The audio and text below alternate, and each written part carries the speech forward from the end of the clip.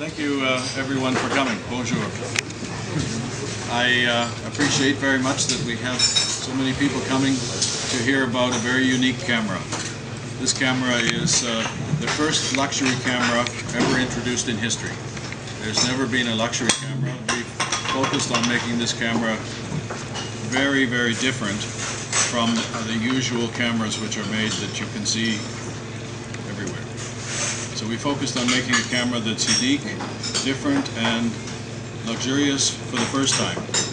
And uh, that's uh, a camera which is uh, based on our heritage, which we, you can see here. We're going to talk about that, and at the same time going into new markets. So before I give any more information and talk in detail about the camera, I'd like to turn it over to uh, my colleague, Michelle, who's going to talk about the company's history a little bit. Thank you. Thank you. Yes. Good morning. Hopefully you can hear me. Can hear me fine? And um, I'll try to speak as uh, clearly and as slowly as possible. I do not speak French, unfortunately, so um, hopefully you can understand me. So I'm going to talk quickly about uh, a very small part of our history uh, before Larry goes to talk a lot more about the camera. So uh, the Hasselblad company was formed back in 1841. It was a very much a, traditional wholesale company and it had a small photographic department. Um, in 1941, Victor Hasselblad inherited the company. And Victor was always very much a passionate photographer. He loved taking images of, uh, in particular, wildlife. Very, very interested in photography. And um, the, the, the, legend has it that the Swedish government approached Victor after they found a crashed German airplane with a, an aerial camera inside, and the Swedish government asked Victor if he could build one, and he said, no, but I can build you a better one. And that was the start of Hasselblad building cameras for the Swedish government, which were used for aerial purposes. So in 1948, all that time ago, Victor produced the 1600F, which was the first consumer camera, which is very much the iconic camera for those of you who know Hasselblad. That's the iconic camera that we're recognised for. In 1957, the uh, very popular 500C was launched, and that's the landmark design that's the basis for all our cameras from there on. And of course, what Hasselblad is very much known for in its heritage was the first astronauts in space took the Hasselblad, the first being Walter Schirra back in 1962. And of course, you very famous images of Neil Armstrong and Buzz Aldrin taking images of the Earth and the Moon on the Hasselblad Lunar, the very first lunar camera, and there is obviously one on show over there. So during the 80s and 90s, Hasselblad produced uh, many cameras and gradually took us into the digital age.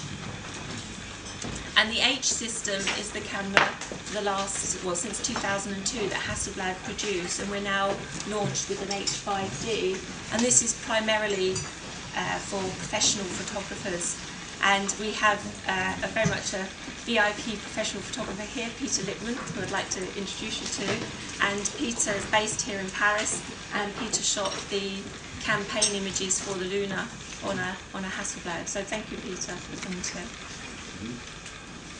So the, the Hasselblad camera is actually still very much an object of desire, but it's in a smaller market, ideally aimed at the professional customer.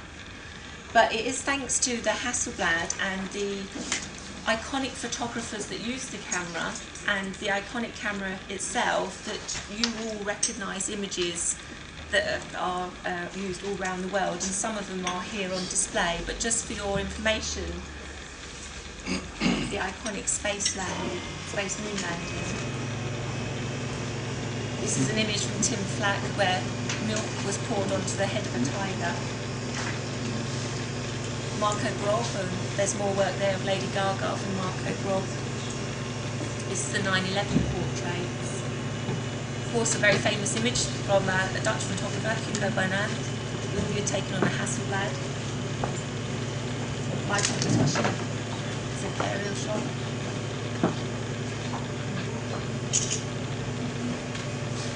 And that's just a taste of some of the iconic images that are produced by professional photographers around the world. So I would like now to, after a very brief history of Hasselblad, hand you back to Larry to talk about the lunar camera. Thank you. So I wanted to, uh, to speak a little bit about why are we making such a camera? How can we come up with the concept of a camera that's actually not really uh, a traditional camera at all? And the camera that, uh, that we've made is basically more like a watch or a high-end car. What you can see on the camera is uh, nothing like any other camera, and it's not built like any other camera.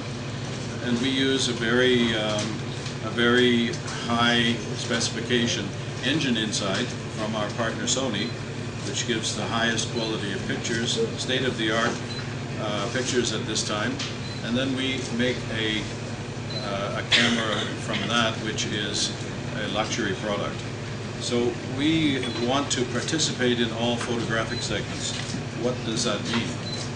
in the camera world, you have professional cameras like the, uh, like the uh, one over there, and then you have the next segment, which is interchangeable lens DSLR cameras, like uh, the gentleman over there has on the table.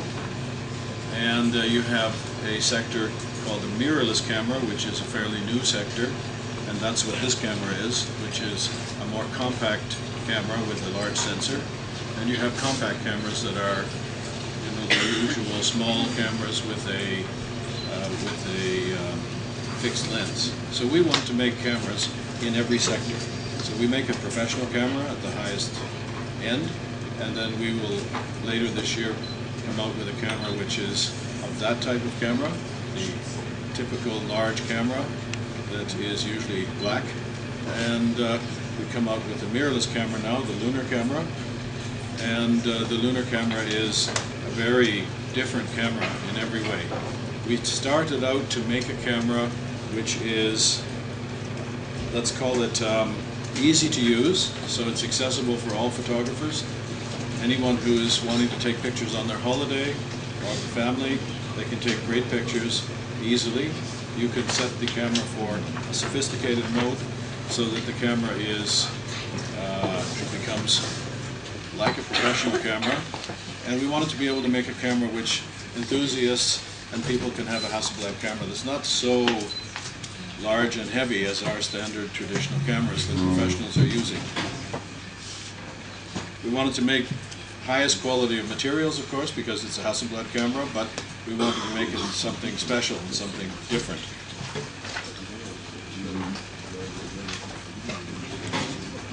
We don't try to make a camera which is the same as everyone else. There's a lot of great cameras in the world just taking pictures from Japanese manufacturers. Uh, there was no point for us to make just another copy of what is already made. So we look in each segment to make cameras which are very unique, different, they look different, and they feel different. We spend a lot of time to build the camera in the traditional ways.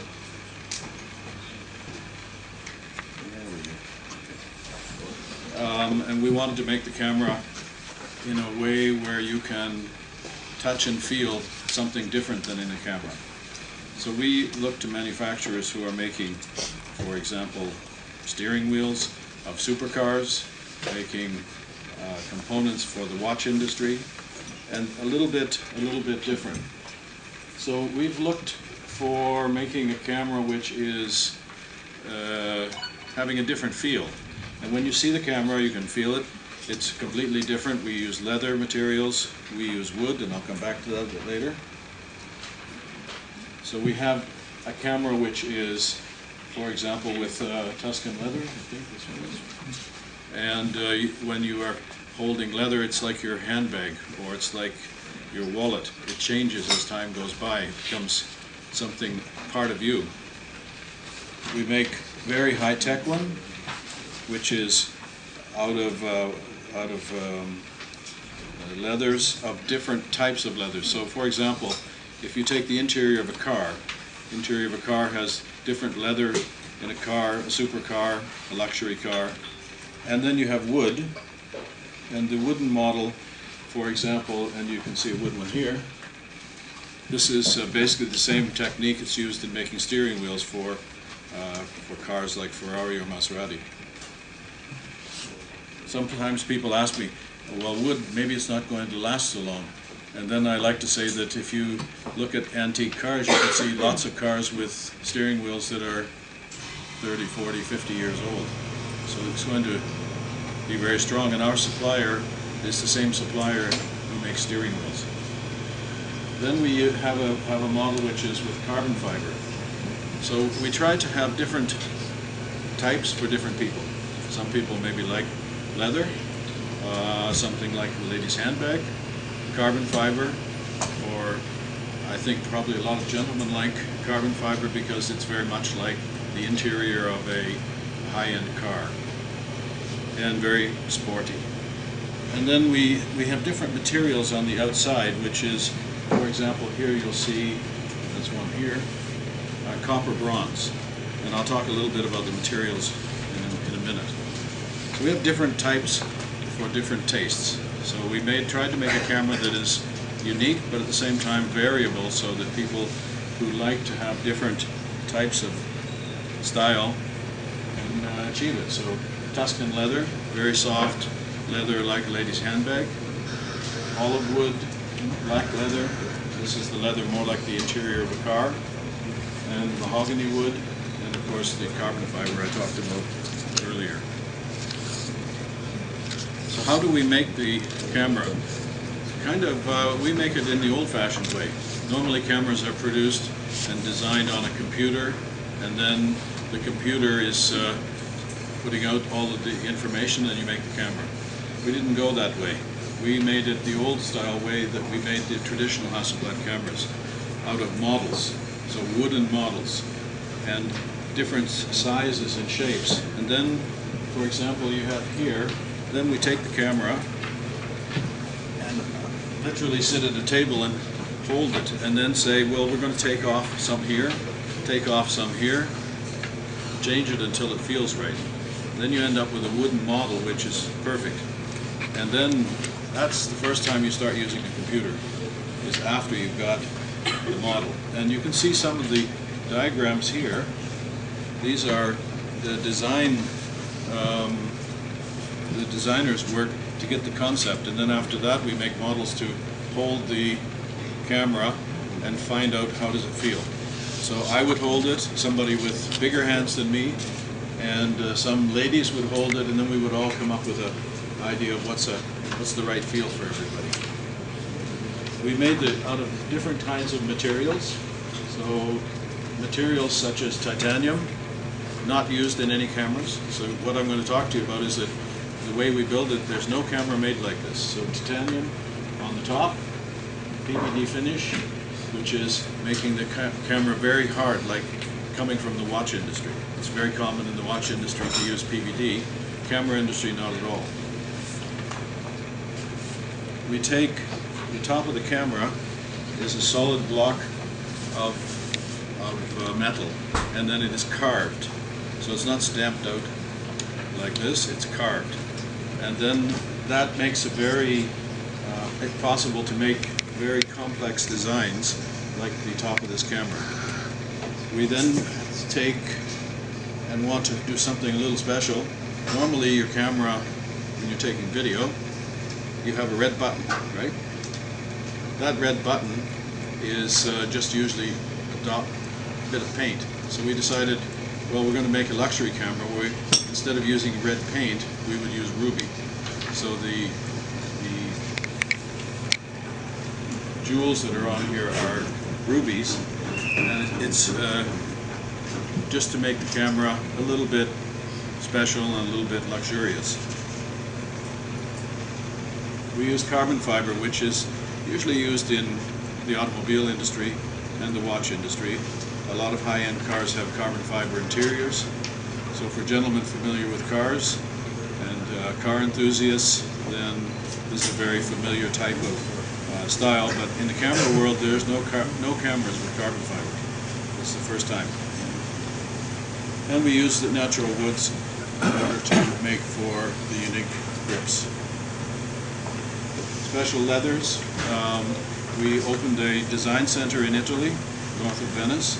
Our design center is sourcing materials, and the uh, materials, for example, leather. Uh, probably a lot of ladies maybe have handbags made with Italian leather, and it's uh, from the same type of suppliers that we get our leather for our well, for our grips, but also for our accessories to hold the different materials. And uh, finally, we have, basically we are designing the camera with an E-mount. E-mount is the, the patented mount of the Sony company, our partner. So our camera is technologically, the engine inside is from Sony, the highest state-of-the-art product. And then we use, uh, we, we rebuild all around it uh, a high-end luxury camera.